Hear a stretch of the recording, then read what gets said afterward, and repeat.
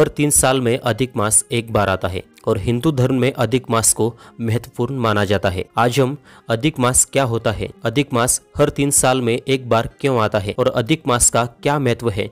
इसके बारे में जानकारी लेने वाले हैं। अधिक मास यह एक संस्कृत शब्द है। अधिक का अर्थ है अतिरिक्त और मास का अर्थ है महीना। तो अधिक मास का मतलब होता है अतिरिक्त महीना।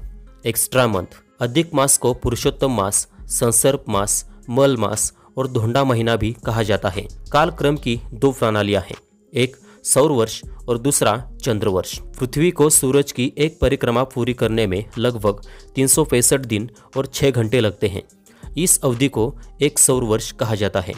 इस अवधि में अंग्रेज़ी या ग्रेगरियन कैलेंडर के जनवरी से दिसंबर ये 12 महीने पूरे हो जाते हैं। चंद्रमा को पृथ्वी की एक प्रदक्षिणा पूरी करने में लगभग तीन सौ चौवन दिन लगते हैं। इस अवधि को एक चंद्रवर्ष कहा जाता है। इस अवधि में हिंदू कैलेंडर के चैत्र से फाल्गुन ऐसे 12 महीने पूरे हो जाते हैं। पृथ्वी सूरज की एक परिक्रमा लगभग तीन सौ पैंसठ दिन और 6 घंटों में और चंद्रमा पृथ्वी की एक परिक्रमा लगभग तीन सौ चौवन दिन में पूरी करता है। मतलब एक सौर वर्ष और चंद्र वर्ष में 11 दिन, एक घंटा 31 मिनट और 12 सेकंड का फ़र्क पड़ता है। और तीन साल में यह फ़र्क लगभग साढ़े बत्तीस दिनों का हो जाता है। तो इस अंतर में समानता लाने के लिए प्रत्येक तीन साल बाद चंद्र वर्ष में एक अतिरिक्त महीना जोड़ा जाता है, जिसे अधिक मास कहा जाता है। जिस वर्ष अधिक मास होता है, उस वर्ष के हिंदू कैलेंडर में बारह के बजाय तेरह महीने होते हैं। विभिन्न मौसम सौर वर्ष पर आधारित होते हैं।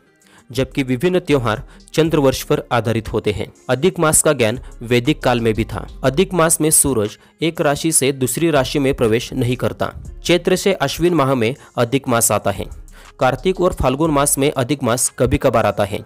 मार्गशीर्ष, पौष और माघ महीनों में अधिक मास नहीं आता है। अधिक मास में भगवान विष्णु की पूजा, भागवत पुराण का पाठ, भागवत कथा सप्ताह, स्नान, दान, जप और व्रत किया जाता है।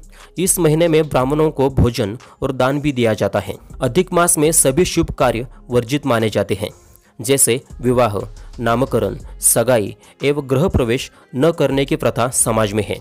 अधिक मास को पुरुषोत्तम मास क्यों कहा जाता है, इसके पीछे एक कहानी है। कहानी के अनुसार अधिक मास में सभी मंगल कार्य और व्रत का त्याग किया जाता था। इससे अधिक मास दुखी रहता था। इस पर उसने अपनी व्यथा भगवान विष्णु से कही। भगवान विष्णु ने उसे श्री कृष्ण के पास भेजा। मल मास की बात सुनने के बाद श्री कृष्ण ने अधिक मास का नाम बदलकर पुरुषोत्तम मास रख दिया। कृष्ण ने यह भी कहा कि पुरुषोत्तम मास का महत्व सबसे अधिक होगा और जो लोग इस मास में पूजा, व्रत और दान करेंगे, उन्हें पुण्य मिलेगा।